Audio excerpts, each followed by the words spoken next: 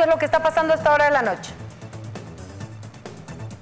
Muchas gracias Priscila, amigos del país, buenas noches. Estamos, esta jornada le hemos invitado para que pueda conversar con nosotros al jefe de bancada de los demócratas acá en Cochabamba de la Asamblea Departamental. Le queríamos consultar tomando en cuenta cómo está viendo el panorama para Cochabamba. Mañana se espera que estén llegando productores de la hoja de coca acá a Cochabamba con la nueva presidenta que ya está haciendo su trabajo. ¿Qué se puede esperar y cómo ve el panorama para nuestra, para nuestra región, para el país? Bueno, para empezar creo que es importante darle toda la certidumbre en este caso a la nueva presidenta. Creo que es importante llamar a la pacificación y llamar al orden, ¿cierto? Tenemos que respetar el Estado de Derecho por un lado.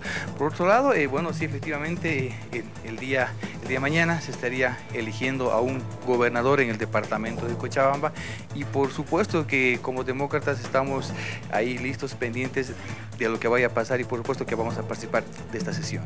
Entiendo que eh, ya se ha ya recibido la carta de manera oficial el presidente de la Asamblea Departamental por parte del ex gobernador Iván Canelas. Estará tratando en primera instancia esa carta, entendemos que será así y después se elegirá un nuevo gobernador. ¿Cómo se estaría trabajando? Sí, efectivamente la carta ya nos ha llegado, ya lo conocemos y por supuesto pues que el día de mañana tenemos que elegir un gobernador lo dice claramente nuestro reglamento y a partir de eso, bueno, pues se supone que el día de mañana ojalá podamos tener un gobernador y así poder darle toda la tranquilidad, toda la certidumbre, diría yo, y la tranquilidad, mejores días, sobre todo al departamento de Cochabamba, ¿no? Entiendo que la elección va a ser por simple mayoría y no necesariamente tendría que ser alguien del movimiento al socialismo.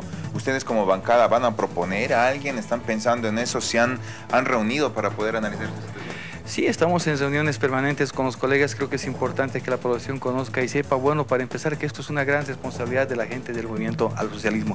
No nos olvidemos que aquí en Cochabamba ellos tienen más de dos tercios y por supuesto que esto está en manos de la gente del movimiento al socialismo. Ellos tendrían la obligación, diría yo, de poder estar eh, y, responderle en realidad al departamento y darle toda la certidumbre que en este momento estamos necesitando como Cochabamba. Y a partir de eso, bueno, por supuesto que todos estaríamos habilitados, pero no olvidemos que la gente del movimiento al socialismo tiene pues más de dos tercios, te reitero, y a partir de eso ellos tienen la gran responsabilidad de poder definir quién va a ser el futuro gobernador en Cochabamba, quién va a tener esta gran responsabilidad de poder darle mejores días a Cochabamba. ¿no? Ofrecerle también garantías por todo lo que está ocurriendo, tal vez a los asambleístas y al próximo gobernador. Claro, claro que sí, es importante porque para empezar creo que necesitamos todas las garantías, todos necesitamos las garantías y a partir de eso, pues reitero, darle mejores días al departamento de Cochabamba.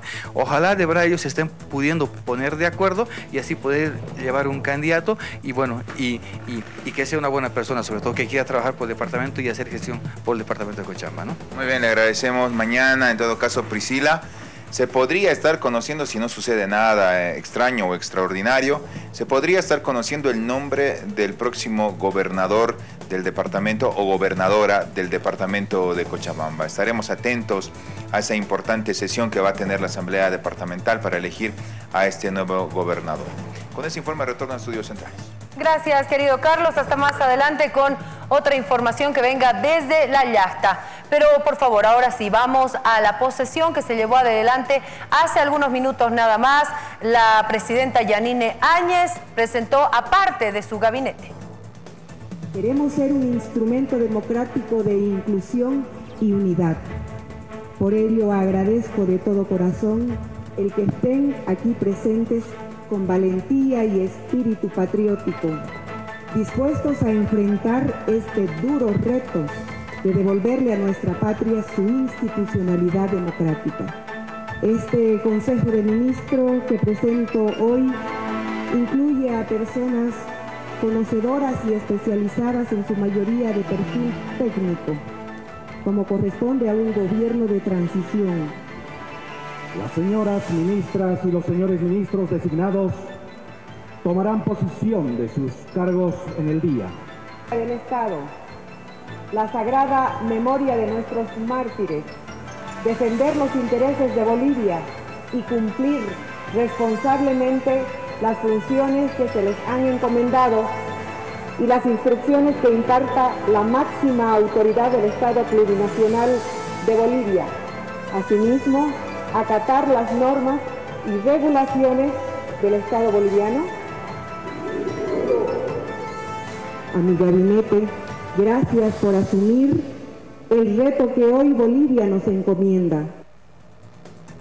Pero vamos a revisar los nombres, por favor, de quienes conforman el primer gabinete y este gabinete transitorio de la presidenta Yanine Áñez Chávez. Karen Longaric es ministra de Relaciones Exteriores, es nuestra canciller. Jerjes Enrique Justiniano, ministro de la Presidencia. Arturo Murillo, ministro de Gobierno.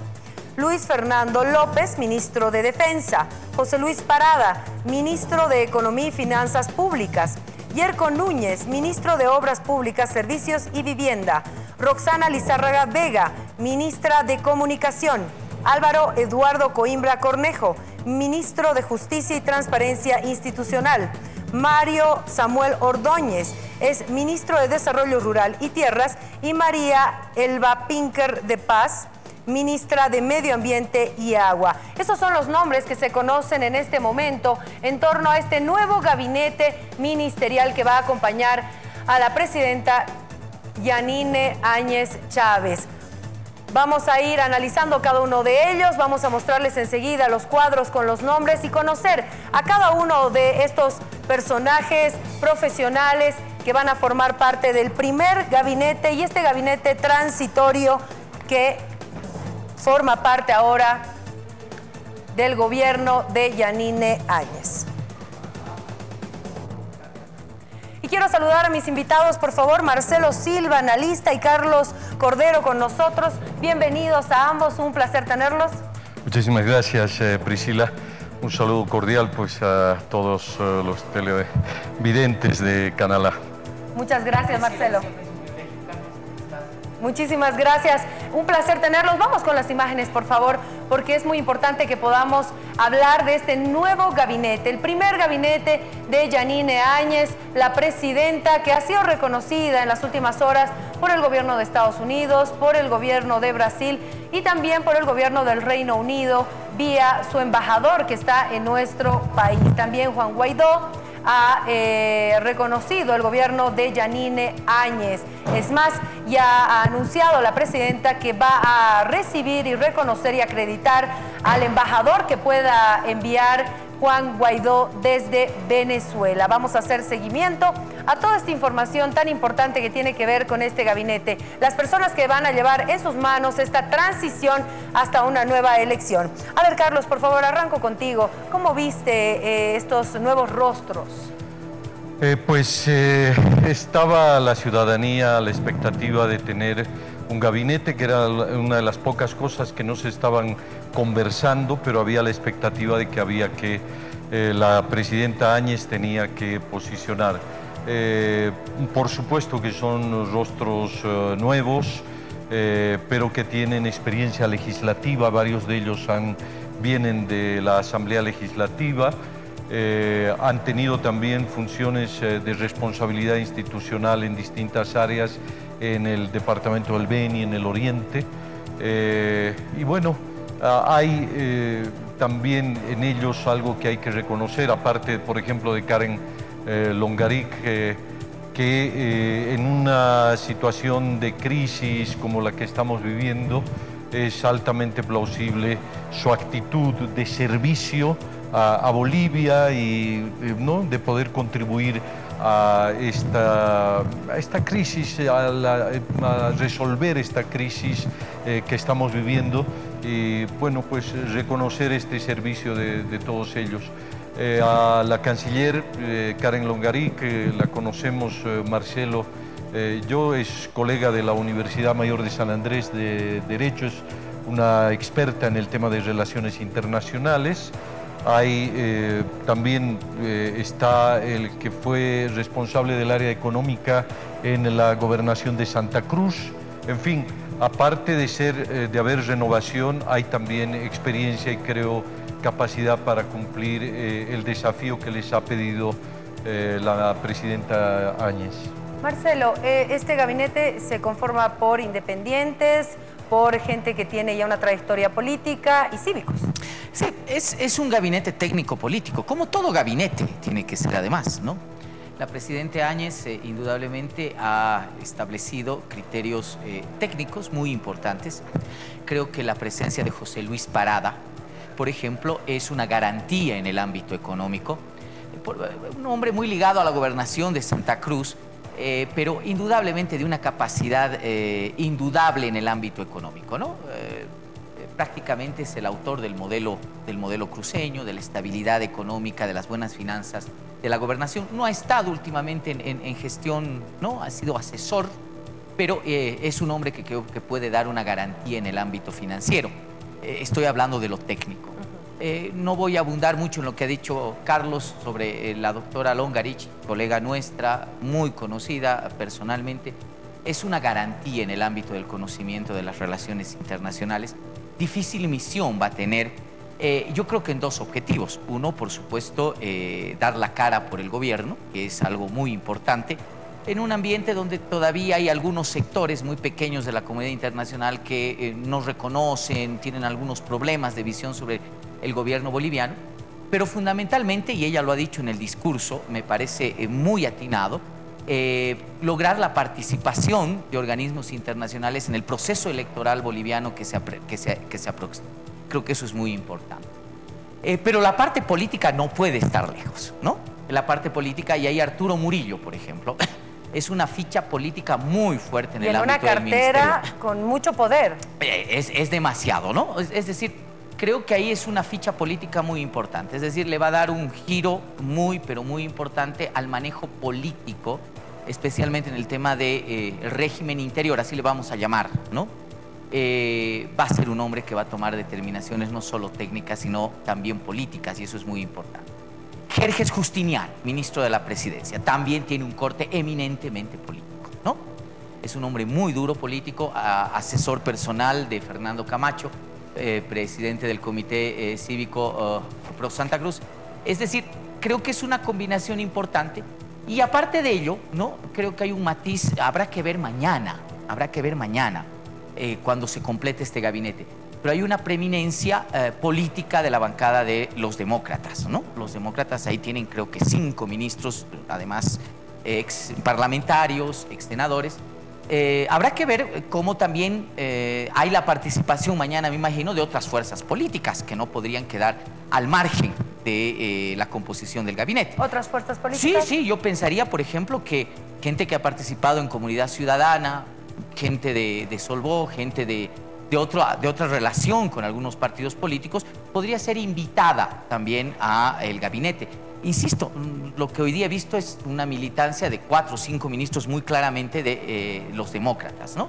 Me imagino que para hacer esto mucho más plural en el ámbito político, porque tú lo has dicho bien, lo cívico está representado, la parte técnica de independientes me parece muy bien, Roxana Lizárraga también, una periodista independiente, eh, la hemos visto ahora como ministra, es la nueva ministra de Comunicación, habrá que ver si hay otras fuerzas políticas en carteras muy importantes, además, que han quedado ahí eh, acéfalas, educación, salud, que la presidenta ha dicho que mañana precisamente las va a completar. Eh, Carlos, ahora los rostros, ¿no? ¿Estamos viendo pluralidad en este gabinete?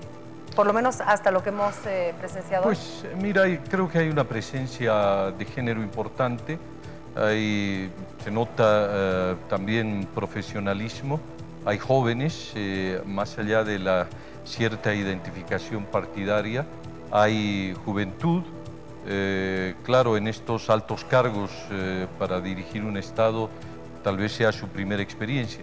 Pero lo importante eh, ha estado también en el discurso de la presidenta y ratificado en el discurso de Karen Longaric, nuestra ministra de Relaciones Exteriores, los objetivos generales que tiene el gabinete y esta presidencia. Eh, primero, eh, reinstitucionalizar el país a través de la convocatoria de elecciones lo más pronto posible, que es un desafío enorme y que eh, es lo que le daría la legitimidad necesaria a, a, la presidenta, a este gobierno de transición. El gobierno de Eduardo Rodríguez Belcé a partir del año 2005 es el que propicia las elecciones del 2005 que va a ganar eh, Evo Morales la primera elección, también fue un gobierno de transición Eh, y ese tiempo también fue medio convulso.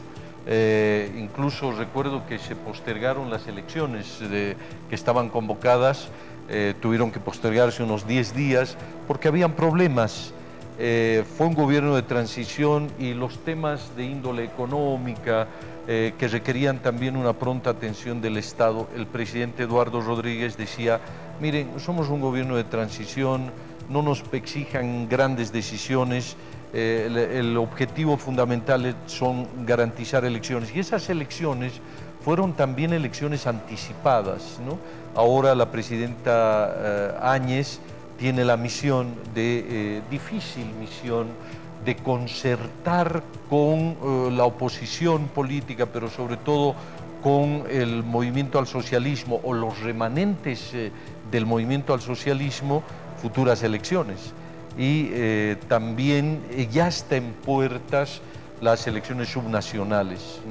Y un problema eh, legal, constitucional y político, como es el tema de el gobierno de la presidenta Áñez está previsto en sus alcances hasta el 22 de enero puede ampliarse un poco más por necesidades estrictamente políticas, como por ejemplo la imposibilidad de llevar elecciones eh, en los plazos eh, antes del 22 de enero o en, este año.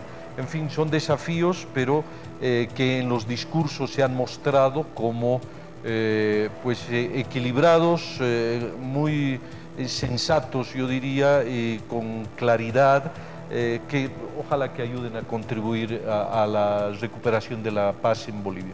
Ahora, Marcelo, ¿estás observando cómo se está llevando adelante o cuáles son las reacciones de esta bancada del movimiento al socialismo que en este preciso momento, mientras se lleva adelante el primer gabinete, eh, intentan instalar una asamblea para no reconocer eh, a Yanine Áñez, y, demás cosas. Entonces, eh, no va a ser fácil el proceso de llegar a un acuerdo para elegir, por ejemplo, a vocales del Tribunal Supremo Electoral, que es vital para poder convocar elecciones. A ver, eh, primer elemento, eh, y, tú lo mencionas bien, el, el, gobierno transitorio es gobierno constitucional, pero indudablemente es un gobierno de transición en el ámbito político, ¿no? De la presidenta Áñez, tiene que ser lo más corto posible. Los gobiernos de transición no pueden quedarse mucho tiempo porque son frágiles en sí mismos, ¿no? Por una estructuración política. el gran desafío fundamental eh, de, de Yanine Áñez como presidenta, y lo tiene que hacer lo más rápido posible, es electoralizar al país. ¿no? Eh, incluso cambiarnos el imaginario, el chip. ¿no? Es decir, ahorita todavía hay convulsión, hay peleas en las calles y demás. No, no, no. Lo importante es de que todos los temas políticos del país sean debatidos a la luz de la proximidad de una elección. Es decir, que todos los bolivianos entendamos que todas las fuerzas y todas las contradicciones internas las vamos a resolver ¿dónde? En un proceso electoral, las vamos a resolver en elecciones. Es hora ya de empezar a hablar de candidaturas, em, e, e, es hora de empezar a hablar de programas, de propuestas, de posturas políticas. Eso le va a ayudar muchísimo a la presidenta Áñez. Porque si sigue todavía con este ámbito de, tensión, ¿no? las cosas, las rivalidades, las polaridades pueden aumentar. Y yo creo que lo más importante estratégicamente es que doña uh, Yanine Áñez, presidenta del Estado plurinacional, pueda electoralizar el país. Y por supuesto, mantener, y creo que tiene el gabinete ese perfil, mantener la estabilidad de la administración pública. Concuerdo con Carlos, es imposible que en un gobierno de transición se puedan tomar medidas de magnitud. Es más, hay que evitar tomar medidas de magnitud. Hay que dejarle al próximo gobierno que va a tener una bancada parlamentaria sólida, que va a tener una correlación de fuerzas, eh, será pacto, no habrá pacto, volverán a haber pactos entre partidos políticos, etcétera, etcétera. ¿verdad? Hay que dejarle al próximo gobierno las decisiones más importantes. Entonces, creo que eso es importante remarcar. Referente a tu tema de, preguntas, eh, creo que el MAS apuesta a hacerle coro al discurso de, Morales, ¿no? del expresidente Morales, eh, en el tema de eh, pintar esto como una especie de insurrección, de, golpe. etc. etcétera, Ayer tuvo la gran oportunidad el movimiento socialismo de cambiar las cosas, pero no quiso hacerlo. ¿no? Y no quiso hacerlo, sacrificó probablemente incluso mantener la estructura del Ejecutivo por eh, amparar el discurso de Evo Morales. Creo que mientras eh, el MAS sigue en esa posición, ¿no? los remanentes del MAS, indudablemente le van a hacer un poco, un flaco favor a eh, sus ventajas políticas, que ya son cada vez mínimas. Una de las cosas fundamentales es de que creo que el MAS tiene que aprender a pagar el Twitter y empezar a leer la realidad desde aquí adentro. Eh, por experiencia, y Carlos lo sabe, eh, los líderes o ex líderes políticos que están fuera ya pierden un contacto, una visión global de la realidad, de los hechos, de los sucesos, ¿no? Eh, y yo creo que es un error que la bancada del MAS le haga coro a ese juego, ¿no? podía haber ayer, creo que ha perdido la oportunidad de oro el movimiento socialismo de poder cambiar las cosas, pero no ha querido, no ha querido, absolutamente no ha querido. Su presencia ha sido Ayer era, eh, ayer era importante su presencia, hoy ya no, es tardía, absolutamente tardía. Bueno, pero tan tardía como para que eh, no se pueda trabajar en esta mm, en este diálogo y esta construcción de buscar a los notables que tanto se, se, nombra para el Tribunal Supremo Electoral, para eso se los va a necesitar. O sea, el MAS tiene que ser parte de este proceso. Claro, eh, yo creo que ellos tienen conciencia de esa importancia pero no sé si tienen, eh, y me inclino a creer que no la tienen, la voluntad política como para facilitar una solución a la crisis. Yo creo que en la estrategia eh, en este momento del eh, partido de gobierno se ha perfilado a través del Twitter del presidente Morales en sentido de que creo que todas estas acciones que han tomado eh, el partido, eh, el ex partido oficialista, eh, eran la de generar un clima de caos institucional, por eso rompieron la línea de sucesión constitucional, para que luego el país y distintas instituciones y sobre todo los movimientos sociales le pidieran a Evo Morales volver al poder y Evo Morales se ha estado insinuando en ese sentido, ha estado mandando tweets de que si es necesario su retorno al país para pacificar el país, pero por favor él siempre va a estar presto a aquello. Yo creo que el presidente Morales tiene que volver al país a rendir cuentas por los tres periodos constitucionales, pero también concuerdo con Marcelo en sentido de que los grandes desafíos de aquí es eh, el llevar adelante unas elecciones contigo.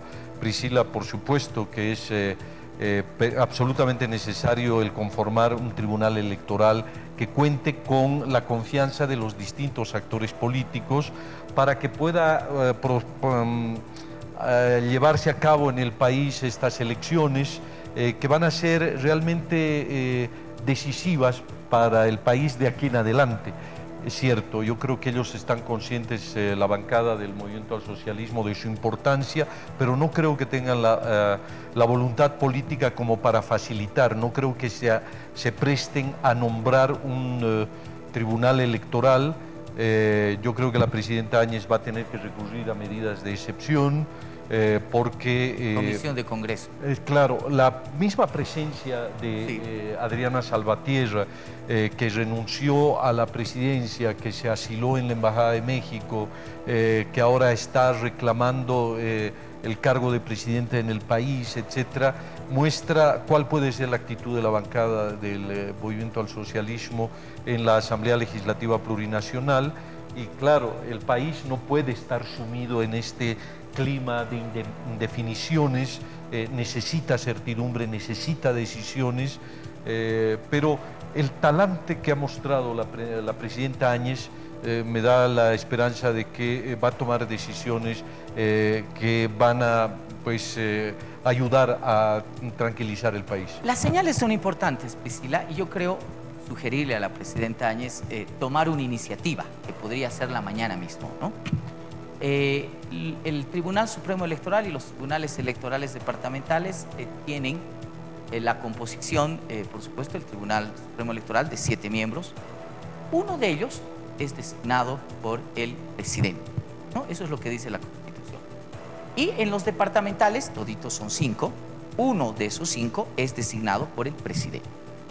Yo creo que una de las iniciativas importantes que debería tomar doña Yanine Áñez como presidenta es designar lo más pronto posible a los vocales que le corresponde por mandato constitucional. ¿no? Estas personas deberían ser eh, perdónenme, los supernotables, ¿no? Es decir, que ya le empiecen a dar una muestra de solvencia. No pueden tomar determinaciones, evidentemente, porque el tribunal, los tribunales son órganos colegiados, necesitan quórum para tomar decisiones. Pero en la parte administrativa, en el conocimiento ya de, de la situación del Estado, de los tribunales, cómo, se han, cómo, cómo los anteriores vocales han dejado los diferentes tribunales, podría ser de gran ayuda y creo que podría ser una señal importantísima para la población. El hecho que la presidenta mañana nos diga, señores, voy a designar como vocal eh, del Tribunal Supremo Electoral a tal persona, que además está amparado en el ámbito de la constitución política del Estado. Y vaya buscando en el ámbito departamental a las personas también notables para que las pueda ir designando. Insisto, esto puede ser una señal muy importante, te puede dar ya un previo conocimiento, por lo menos esa persona podría tener el estado de la situación, de cómo están los tribunales eh, departamentales, cómo está el Tribunal Supremo Electoral y por supuesto esperar a, tomar determinaciones para completar al resto de los vocales. Es una sugerencia que hago porque es una sugerencia que además está en el marco de la Constitución Política del Estado. Ahora, cuando hablamos de esta posibilidad de eh, tomar determinaciones en comisiones, ¿cómo funciona esto? O sea, eh, ¿se incluye a uno por partido? ¿Cómo, funciona esto? Pues eh, en este momento hay presidentes, hay comisiones y comités que están organizados. Ya establecidos. ¿no? Hay personas que están ocupando esos cargos y hay una comisión de Congreso que también tiene en situaciones de excepción, cuando no, está, no se eh, reúne la Asamblea Legislativa eh, o cuando existen... Vacaciones. claro, este tipo de situaciones también excepcionales que estamos viviendo, podría funcionar una comisión de Congreso que es una síntesis de la Asamblea Legislativa Plurinacional conformada por representantes del Senado y de la Cámara de Diputados que están perfectamente habilitados y amparados por la Constitución Política del Estado para tomar este tipo de decisiones. Marcelo sugiere muy bien porque eh, es perfectamente posible que la presidenta Áñez haga estas designaciones eh, porque son delegados presidenciales. Lo que hay que puntualizar es que hoy día eh, los tribunales electorales están descabezados ¿no?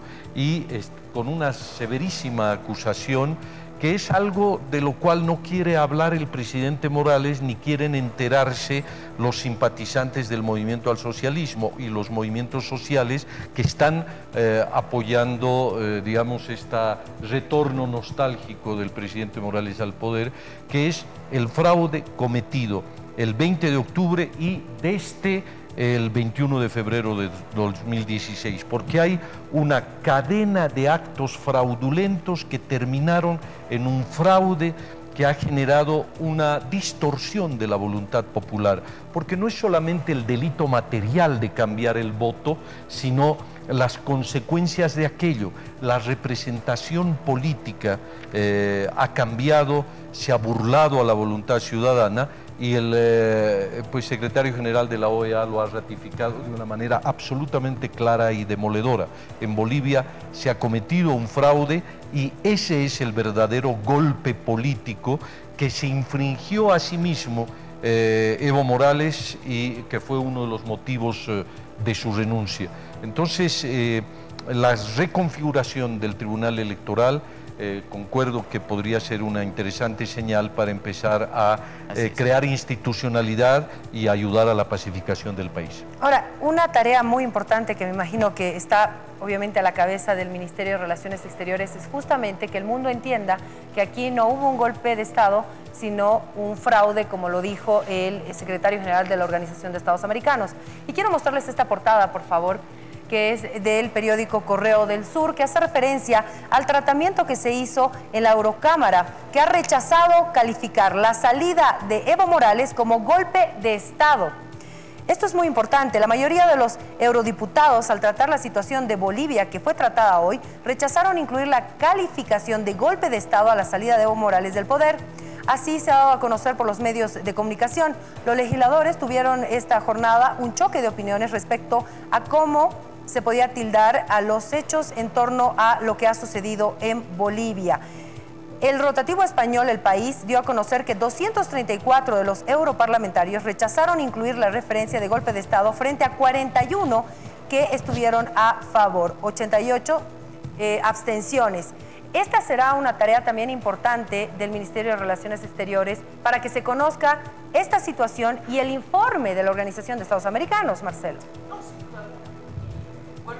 Eh, hay una solvencia ahí en la, en la Cancillería, creo que la designación ha sido muy, pero muy atinada, porque eh, eh, Karen, nuestra cancillera, es, nuestra canciller es una persona muy proba en ello, ¿no? Es una persona que tiene mucho manejo, no solamente del ámbito del conocimiento de las relaciones internacionales, sino de la, de la diplomacia, que es un elemento fundamental.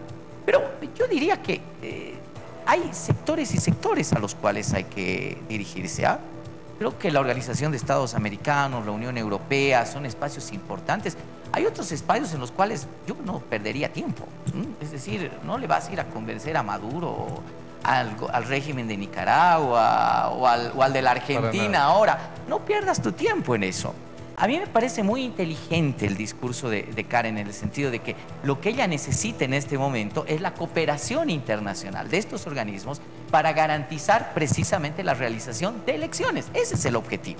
¿no? Porque hay bloques indudables. No, no, a López Obrador no lo vas a convencer eh, de lo contrario, es decir, vas a perder tu tiempo, vas a gastar esfuerzos. Yo lo que creo que es estos bloques importantes, Organización de Estados Americanos fundamentalmente y la Unión Europea, ¿no? como elementos centrales que garanticen como lo ha sido en el, anterior proceso electoral, todos habían desahuciado el tema de la OEA, pero bueno, al final la OEA fue la que tuvo las cosas más claras ¿no? y más nítidas. Eh, e indudablemente creo que ese es el trabajo de, la, de, nuestra canciller. No creo que esté ahí en el ámbito del desgaste, cuidado, que vaya y trate de convencer a quienes no van a convencerse nunca. Eh, creo que el tema electoral debe ser el tema central eh, de la gestión de nuestra presidenta. Algo que me llamó la atención que dijo también la ahora canciller es que quiere dejar un cuerpo diplomático a la altura de las relaciones que quiere tener Bolivia con el mundo, ¿no? Eh, haciendo una referencia de que eso no se había hecho, Carlos. No, porque en el gobierno, en los eh, tres periodos constitucionales del movimiento al socialismo, se ha desarrollado una eh, diplomacia que recibió el nombre de la diplomacia de los pueblos, una renovación ideológica, estética eh, y de, protocolo eh, y un alineamiento diferente.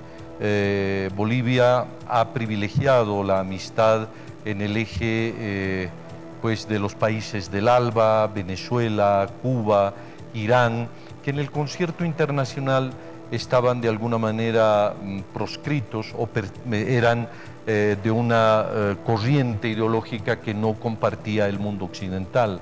Y se ha distanciado eh, en el plano americano de países como el Brasil y curiosamente la presidenta Áñez logra el reconocimiento expedito del presidente Jair Bolsonaro. Evo Morales fue muy crítico durante la campaña y los voceros del MAS con Jair Bolsonaro y después Evo Morales tuvo que ir con prácticamente la cabeza inclinada eh, porque Brasil es uno de nuestros socios estratégicos en el tema del gas. Eh, con países vecinos eh, como la Argentina, ha tenido también unas relaciones difíciles, pero en, esta última, en este último tramo eh, le salió bien el apoyar a la, candidatura de Fernández porque Fernández finalmente ganó las elecciones en la Argentina, pero con Chile, con el Perú, eh, ha tenido este, una relación difícil. Eh, por supuesto que el escenario internacional es importante. ahora, el tratar de crear una nueva escuela o un nuevo cuerpo diplomático o un nuevo tipo de orientación, creo que Está bien, hay que hacerlo en la medida de las posibilidades, pero, pero hay que sentar las bases. Concuerdo con, uh, con, Marcelo en el sentido de que la prioridad debería ser elecciones. Eh, elecciones, elecciones para que el país, eh, me, me, gustó mucho esa frase, Marcelo, en el sentido de que los bolivianos debemos entender que cualquier controversia que tengamos lo debemos resolver en las urnas. En las urnas. Y a través de la participación ciudadana colectiva. En las urnas participan 7 millones de bolivianos de los 11 que somos. Cada ciudadano tiene un voto que es una decisión política y que eso, que saber que vamos a participar, que tenemos la oportunidad de elegir entre opciones, puede desinflar la conflictividad y llevar a un debate de ideas, ¿no? De confrontación de ideas, de propuestas y de candidatos y dejar la confrontación en las calles a través de la violencia, que eso es lo que hoy está angustiando al pueblo de Bolivia. Hay que revalorizar mucho el, el, tema de las elecciones, ¿no? Como el mecanismo fundamental. Ahora, no solamente en el tema de, de los ciudadanos, sino de los actores políticos mismos. Es decir, si hay sectores políticos que hoy creen tener derecho político, vayan y demuéstrenlo en las urnas vayan y demuéstrenlo a través del voto popular, del voto ciudadano. Por eso, insisto, estratégicamente a la presidenta Áñez en este momento le conviene y lo más antes posible electoralizar el país, porque has cambiado el imaginario, has cambiado el tema de discusión. Cuando ya comienzas a discutir candidaturas, alianzas, cuando ya empiezas a discutir programas, has entrado al ambiente electoral. Es una especie de desarme que eh, indudablemente te deja atrás cualquier otro tipo de controversias. Creo que eso es algo muy, muy importante, clave en este momento para la, presidenta Áñez. E insisto en mi propuesta, la presidenta Áñez, si mañana nos puede dar una sorpresa y nos puede dar una señal, nombrando ella así a los notables, a los delegados que haya, a los vocales que a ella le corresponde por mandato constitucional, creo que estaría eh, maravilloso y además ya nos cambiaría el ritmo del discurso. No sé si me dejo entender. Ya mañana las noticias no sería que hay enfrentamiento, no, se han nombrado a tales personas como vocales, ¿no? Eh, por parte de la presidenta, estamos ya entrando a una carrera electoral. Ahora, cuando vemos este gabinete con los nombres que hemos dado, con presencia política, mayormente política que técnica e independiente, también se habla de la posibilidad, o por lo menos algunas corrientes aseguran, que estos tres meses que podría tener este gobierno también va a ser utilizado para ver qué cosas se encuentran porque, por ejemplo, Yerko Núñez, el senador que ahora es ministro de Obras Públicas, hizo mucho seguimiento e investigación a todo lo que fueron los contratos, carreteras y demás, y denuncias que se hizo. Estando dentro, la cosa es diferente. Ya tendrá en sus manos toda esa documentación o papeles o qué sé yo, que sirva de base para el siguiente gobierno. Pues sí, eh, ocurre que los gobiernos de transición pueden ser verdaderos facilitadores de una renovación institucional, pero también los gobiernos de transición corren el riesgo de que eh, se conviertan en una especie de donde eh, de pronto eh, no existe orden ni existe ley. Por eso era muy eh, rápidamente tenía que nombrar la presidenta Áñez su gabinete de ministros para que primero le den cierta gobernabilidad, pero estabilicen la institución pública para que funcione, para seguir sirviendo a, a los ciudadanos, ¿no? Eh, y en ese sentido, evidentemente, hay personas como Yerko Núñez eh, que han hecho este trabajo que muy bien tú has reseñado, Priscila, de eh, fiscalizar, de denunciar, porque la mayoría de estos, de estos nuevos integrantes del gabinete tienen esa experiencia de estar en el legislativo. El legislativo tiene la principal función de fiscalización y eso por supuesto que le va a servir al gobierno de la presidenta Áñez, pero por supuesto también para darle a la competencia electoral la información del estado real en que se encuentra eh, la administración pública, ¿no? Porque en las, en las elecciones del 20 de octubre, eh, si algo tenía el gobierno era eh, pues eh, el uso y el abuso del poder y de la información y eran elecciones verdaderamente asimétricas. Cuando se le exigía a los miembros de la oposición el presentar sus programas de gobierno, tenían que hacerlo sobre la base de la desinformación y el gobierno lo hacía sobre la base de los inmensos recursos que ha manejado durante 13 años. Por eso, un gobierno de carácter transitorio, independiente, que garantice unas elecciones eh, equilibradas y transparentes, también en términos de información, que de información de manera equitativa para que las diferentes tiendas políticas puedan hacer eh, ofertas elaboren sus programas de gobierno con certidumbre y con eh, una información eh, útil eh, y, verdadera. Eh, de repente nos encontramos con enormes sorpresas acerca de cómo estaba administrado el Estado bajo el gobierno del presidente Morales. Ministro de la Presidencia, pero fundamentalmente ministro de Finanzas, van a ser claves en eso, ¿no? Nos van a pintar con mucha nitidez cuál es el estado que realmente tiene el país, especialmente en el ámbito económico cuando uno escucha a las cámaras de comercio, cuando uno escucha al empresariado privado, manejan cifras que indudablemente están distanciadas de lo que el anterior gobierno manejaba. Creo que la transparentación de esa información, como dice Carlos, es muy importante. Pero yo me iría también a otro, a otro lado, estoy pensando siempre en el ámbito electoral, y yo creo que todos deberíamos pensar en ello. Eh, creo que eh, la presidenta Áñez tiene que tener la predisposición y creo que los nombres que ha puesto ahí, espero que funcionen así, no utilicen el aparato estatal como se ha utilizado anteriormente para beneficiar a ninguna de las candidaturas que puedan estar en carrera. Debería ser neutra. Creo que esa, esa, e, ese es el gran desafío, ese es el gran desafío, ¿no? Que ninguna de las candidaturas se vea beneficiada ni por la movilización de funcionarios, ni por el uso de recursos, ni por publicidad estatal.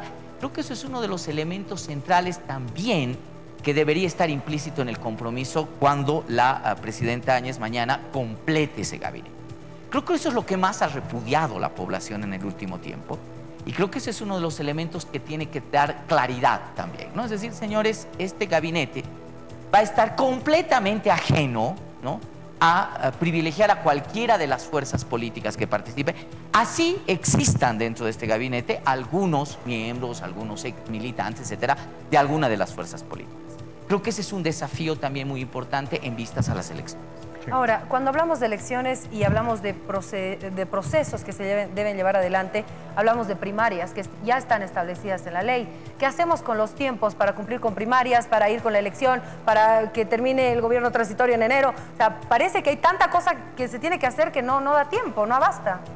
Pues no, es realmente muy difícil eh, porque hay un cronograma electoral, hay plazos y eh, pues hay procedimientos que, también exigen tiempos, es decir, no se puede apresurar, por ejemplo, toda la logística, la, elaboración del material electoral, hay que definir si van a haber listas nuevas, eh, si los partidos eh, van a tener que presentar nombres nuevos con todos los requisitos que se requieren. En fin, hay problemas logísticos pero también cuando hay voluntad política y como señala Marcelo muy bien, de que eh, si uno eh, lleva al país a esta electoralización, a este debate electoral, eh, de repente existe la voluntad política para ello. pero, hay... voluntad política, ven eso en este momento, veamos la realidad, o sea, lo que estamos viviendo hoy. ¿Hay esa voluntad política? lo más importante en este momento, Priscila, y el gran desafío es poder conformar el, órgano electoral completito, ¿no? Yo en esto difiero eh, con lo que se está diciendo con el tema de tiempos. La presidenta Áñez ha dejado de ser parlamentaria, es presidenta del Ejecutivo.